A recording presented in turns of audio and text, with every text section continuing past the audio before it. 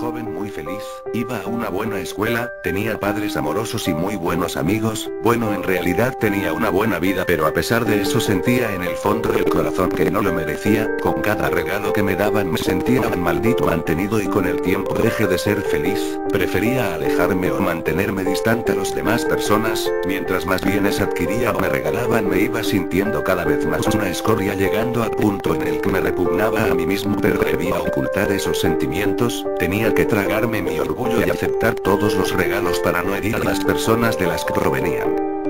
Llegando a mi cumpleaños número 15, mi mente comenzó a contemplar la salida de mi miseria interna, debía suicidarme y así no sentiría nada más, mi alma alcanzaría el descanso eterno tan anhelado en mi corazón, entonces lo decidí, iba a suicidarme. Una semana después de mi cumpleaños, al saber que me quedaban siete días de vida me alegré, fue la semana más corta de mi vida y me despedí de mis amigos y seres queridos aunque ellos me miraban de manera extraña por mi manera de actuar. Por fin era el gran día, esperé a estar solo en mi casa, caminé hacia la cocina y tomé el cuchillo más grande y afilado que encontré, entonces me armé de valor y lo clavé con todas mis fuerzas en mi corazón, al instante caí al suelo, di mi último suspiro y solté una pequeña lágrima de felicidad, sin saberlo cometí el error más grande de mi vida. Cuando llegaron mis padres yo ya había fallecido, aunque era muy extraño porque podía seguir viendo mi cuerpo desde arriba, también mi funeral y el dolor que mi muerte causó, me di cuenta de que había abandonado a mis amigos, familiares y hermanos, en el momento en que enterraron mi cuerpo se me nubló la vista y todo mi alrededor se volvió oscuro. A lo lejos divise un punto blanco y corrí hacia él, era una nota la cual decía, Jamás debiste suicidarte, por tomar el camino cobarde, pagarás por el resto de la eternidad, tu alma se atormentara y desearas estar vivo porque desde aquí verás los males y desgracias que les causaste a tus seres queridos al momento de suicidarte y conocerás las profundidades del infierno junto con el mismísimo Satanás.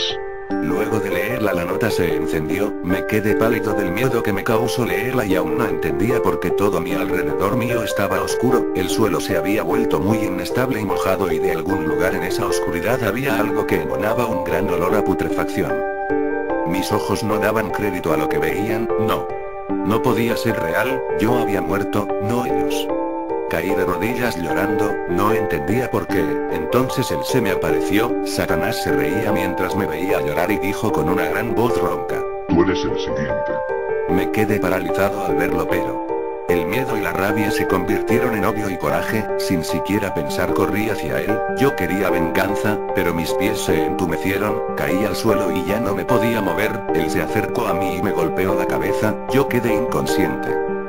Al momento de despertar estaba rodeado de oscuridad, y en ello había presencias abominables, cada vez se acercaban más a mí, entonces grité como nunca antes lo había hecho y sin saber por qué, las presencias se alejaron, tuve un pequeño momento de alivio, pero sin saber dónde apareció una abominación con afiladas garras y dientes, de un mordisco me arrancó mi brazo derecho, mi entraza agonizaba en el suelo, la bestia estaba rasgando la carne de mi espalda, jamás había sentido un dolor así, pensé que no iba a poder aguantar más, pero vi que enfrente mío estaba parado Satanás, sonriéndome, la bestia había desaparecido entonces dije. Misericordia, por favor, no quiero tener este sufrimiento quiero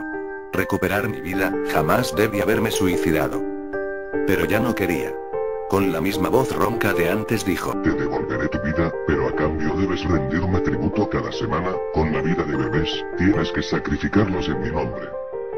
Yo simplemente, acepté, y apareció un gran resplandor de luz roja que me cegó por unos instantes. Al recuperar mi vista descubrí que estaba en mi habitación, recostado en mi cama, vi la fecha y estaba en el día de mi cumpleaños, pensé que todo había sido un sueño pero entonces la palma de mi mano comenzó a arder, en ella apareció el signo de tridente de Satanás, jamás deben suicidarse, para no terminar como yo, que cada semana debo sacrificar un bebé inocente para mantenerme vivo, y cada vez que veo oscuridad, está él riéndose de mí.